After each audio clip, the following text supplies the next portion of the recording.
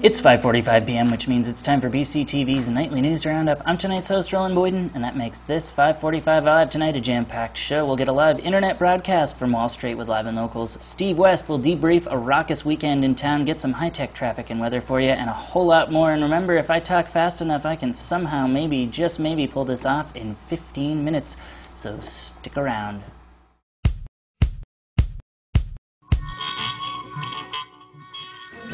Welcome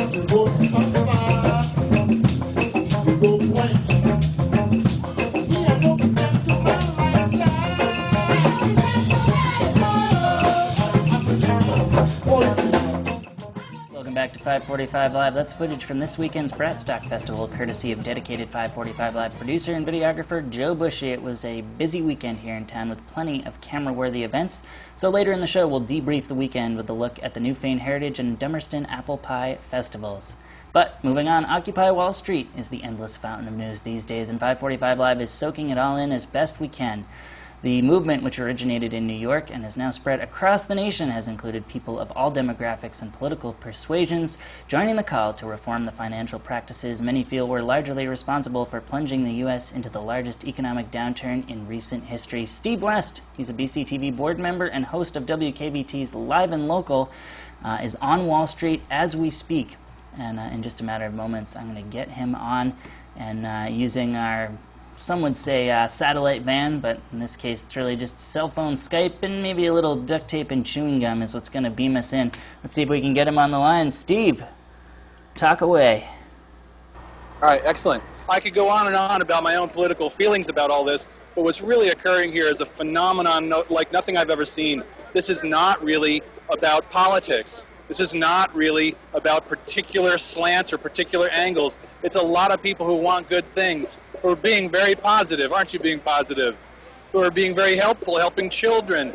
The message coming out of here is one of affirm, affirming, of positivity, of, of ways that we can be in this world rather than ways that we haven't been. And I, I have to say, I, I, coming down here as I, had hoped uh, I would be, I've been really, really swept away by it and really very moved by it. So I'm, I'm thrilled to be here and happy to be showing you some of it. I hope you can make out some of it because it's a pretty wild scene. I mean, literally thousands of thousands of people here, and many of which just marched out of the square and are going up somewhere. God knows, I hope they don't get arrested, but uh, you're kind of not supposed to do that, you know? But that's what's happening, and it's really a very wonderful thing. And as I said, to stress this, this is not about the lunatic fringe, although there's a few of those. And this is not about, in any form, about conflict one after another, each person helping other people. This is a different paradigm. And this is what people are trying to assert that there are ways of doing the world in a wholly better way that affirms and accounts for each of us and, has, and treats each other with respect. This is a microcosm of a world that all, I presume the people here, not all speaking in one voice, but a microcosm of what the world could be is people getting together, working with what they have in an organized, care, caring, and respectful way. So I don't know, I could wax on and on about it, but God knows you got 15 minutes to do a show. But this is what's happening down here, and I am thrilled to be representing Vermont. I got my Brattleboro t-shirt on. I got my Vermont hat on. And people are thrilled to have Vermont in the house. And frankly, I've been hearing from a lot of people, there's been a lot of Vermont down here. Ran into a guy from Springfield earlier talking about, I think it was John Nierenberg. He met John Nierenberg down here. Caleb Clark and people from Marlboro College Grad School. Just, it's been a, a lot of Vermont in the house but there's people from everywhere, everywhere. I don't know, Roland, you should ask me something if you want to. I should, you just let me go. But I'll just wax philosophical about how awesome this is. Well, yeah, Steve. Um, before uh, before I let you go, we're chewing up your data plan here with our uh, hack together duct tape chewing gum and cell phones remote broadcast satellite truck here. But I just there was uh, I, I, wanted to sort of maybe yeah. get your remarks on the some of the energy down here and and just how these people have kind of set up shop. There was an AP article today about how you know, it's really become almost a, a, small city of its own, this protest with people, you know, yeah. trying to actually sort of live out a, a, daily life here and yet remain part of the protest. What is that like? Well, I don't want to correct you, I mean, because, but people are being uh, kind of clear on language and language choices. I don't think this is a protest. I mean, there certainly is a protest embedded in it, but this is a movement. And I think that's a fundamental difference. There are people who are very angry with Wall Street and very angry with the entire monetary system, no question. But what they have decided to do here is to supplant that with a different way of being. And honestly, you know, I'm in the middle of, of low Manhattan, and I've never seen an accumulation of nicer people in one space, even in Vermont. I mean, the, the mood, the tone, the, the vibe, if you will, here is nothing but positive. And I think that's really what people are asserting. They're trying to say we can make a better world that doesn't require us being that other. We can make a better world that we're all cared for. And so, as much as protest matters in, in rejecting what has become the dominant paradigm, there's some people are coming forward, and I have to say, young people, young, smart, technologically savvy people are putting this together and driving it. Well, I'm too old to take any credit for this. There are way too many of us who screwed up this planet bad. And now there are young people here saying, you know what? We can do better than this. This is absurd. And so, I, and again, not to correct, but I think what we're looking at is an affirmation rather than a negation. And I think that's a critical thing to say. Absolutely. Steve, thanks so much for joining us. I'll let you get back to the protest. Uh, for all of you out there watching, um, it sounds like the kind of thing that you just have to see for yourself. All those people out there talking about uh, how you, you, might go on down. Uh, Steve, what would you what do you say to them if they're if they're thinking about coming on down and not sure? Please do, honest to God, at this stage of the game, with the way the species is going on this planet, we have got to act differently. And that requires doing different. If you can make it, please do. If you can't make it, go to wall, occupywallstreet.org or occupywallst.org and donate. People need blankets, people need food, people need money, people need stuff down here. If you can't get your body down here, do something to help because this isn't about hippies or lefties or anything. This is about everybody in the country saying, enough already, we can do better than this. So yeah, come on down. I have to say, I, I am so energized I, I, won't be able to shut up on the radio tomorrow.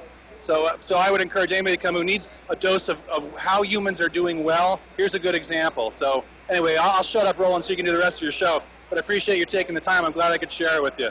Steve, thanks uh, so much for, for beaming us down there. Uh, WKVT's uh, live and local Steve West, and he'll be back on the air tomorrow um, at his regularly scheduled time. Sounds like with plenty more about uh, about your adventures down there, Steve. So thank There's you for tuning in. Yeah. All right, Steve. Thanks so much, and I'm sure we'll cross paths again uh, live on the air at some point. So. All right. Thanks, Roland. See ya. Take care. All right. Steve West, BCTV board member and host of WKVT's Live and Local, um, live from Wall Street, uh, thanks to uh, the magic of Skype and cell phones. Um, we've uh, taken up quite a lot of uh, time here, justly so. I'm thrilled to be taking up time that way, but we got to return to some other normal things, so I'll see how quickly I can breeze through them. Among them, traffic and weather. We'll start with weather. Today's weather is courtesy of Brattleboro Union High School's Morning News Advisory broadcast class, BUHS TV. You can catch the full broadcast of BUHS TV, which includes school bulletins, sports, trivia, and more live weekday mornings at 10:15 on channel 10. Two clicks up the dial from here uh, on uh, mornings following a broadcast, I do the uh, rebroadcast of my show. That's at 10. Then at 10:15, right after that, is the live broadcast of BUHS TV. But we got weather for him here, so uh, check it out. Today we'll have a high of 79 and a low of 50. It's going to be really sunny, so that's a good thing. And Tuesday and Wednesday, we'll have a high of 72 tomorrow and a low of, another low of 50. Mostly sunny.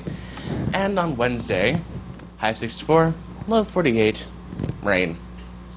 Why rain? We've had so much. We need a break. Don't you agree?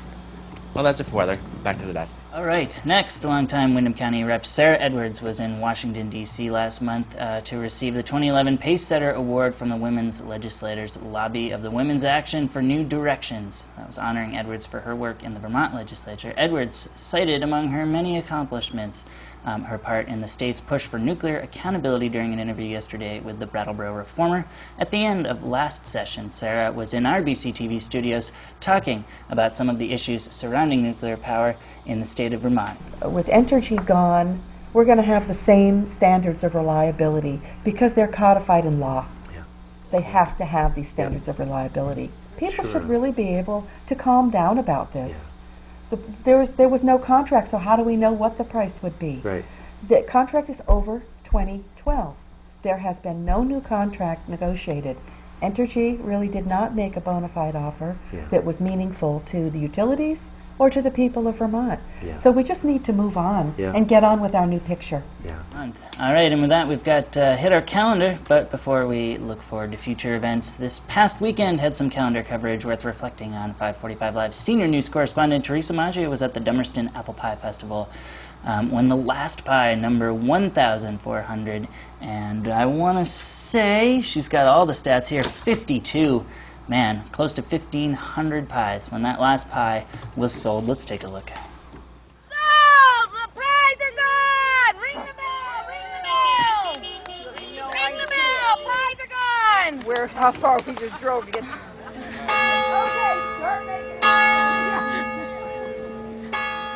I can't believe that. I'm not on. You, woo! And she got the last two. Yes, I know. We drove all the way out here. She said, if I don't get pie, come back.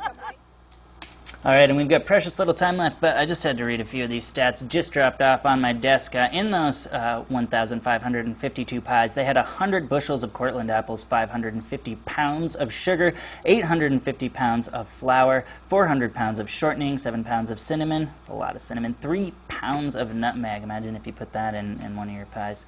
Um, and 85 people worked for nine days, ages 9 to 92 uh, to make those pies. Very cool. So hopefully you got out there and got one of those 1,500 pies. Also happening this weekend was uh, the Newfane Heritage Festival, and of course, tireless senior news correspondent Joe Bushy uh, is everywhere about with his camera, it seems, and he was there as well um, to uh, catch a performance. Let's take a look. Another day, another destiny. This never-ending road to Calvary. These men who seem to know my crime will surely come a second time one day. I did not live until today. And with that, it's time for our calendar coverage. All right, I'll start off the calendar with a reminder that uh, a regularly scheduled planning commission that would have been happening today is not because it's Columbus Day. It'll happen this Wednesday at its normally scheduled time, 6 p.m. in the Brattleboro Select Board meeting room uh, on the second floor of this very 230 Main Street I sit in at this moment. And that meeting will be broadcast live on BCTV Channel 10. So if you can't make it down here to Main Street, uh, to the Municipal Center just north of the library, then tune us in, two clicks up the dial there um, on Channel 10 and catch the Brattleboro Planning Commission meeting. All right, let's move on with the calendar here. Uh, the uh, Center Congregational Church, Perrier, um, is where you can uh, catch a talk tonight entitled Germany's New Energy Path A Roadmap for Vermont, um, which will focus on Germany's move to phase out nuclear power and transition towards 40% renewable energy by 2020 and 80% to 100% renewable energy by 2050. That starts at 7 p.m. Uh, Center Congregational Church. And Wednesday at 7 p.m., Brooks Memorial Library is showing the film To Kill a Mockingbird as part of their reading discussion series. More about that in the library's bevy of events at brooks.lib.vt.us. And with that, it's time for a BCTV schedule quick glance. The Quick Glance is my daily opportunity to shamelessly plug what's coming up on BCTV on both our Comcast cable channels 8 and 10. Let's see, we'll uh, start off the Quick Glance here by uh, going to brattleboro.tv.org. Let's see if we can take a look here just for a quick second. We are running out of time for sure, but I'm at brattleboro.tv.org, and I can do what all of you want to do when you want to find out what's coming up on BCTV. All right, that's a full lid, uh, everybody. Thanks for checking in with 545 Live today. Thanks to Steve West for beaming us into Wall Street Live from New York. All right, but before you switch back to Mad Money, remember we'll be back Wednesday with all the usual fixings, BCTV schedule, quick glance calendar coverage, headlines, cell phones, cinematography, and more for BCTV and 545 Live. I'm Roland Boyden. Good night, everybody.